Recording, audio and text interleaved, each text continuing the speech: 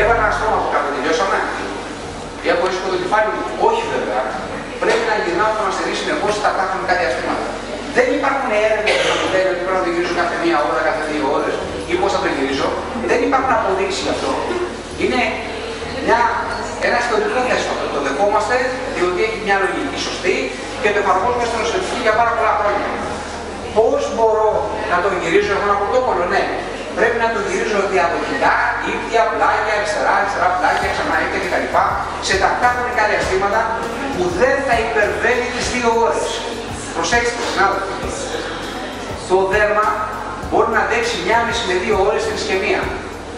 Μπορεί και παραπάνω, αν είστε σε καλή κατάσταση. Μπορεί να και τις τρεις ώρες και τις τέσσερις ώρες. Ο μυς που βρίσκεται στους υποκείμενους χώρους αντέχει το 1 τρίτο του χρόνου του δέρματος. Δηλαδή αν το δέρμα άντεγε μια μισή ώρα, σε μισή ώρα έχει νεκρωθεί ο μυς.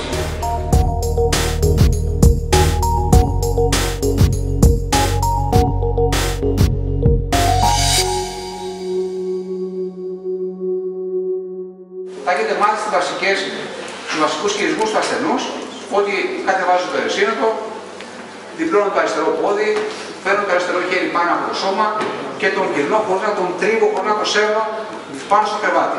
Έχω επίσης ένα υποσέντον από κάτω, του μαζεύω τα πόδια και όταν θέλω να τον πάω πιο πάνω, ο συνάδελφο μου που είναι απέναντι και εγώ το πιάνω μαζί και τον πάμε λίγο πιο πάνω.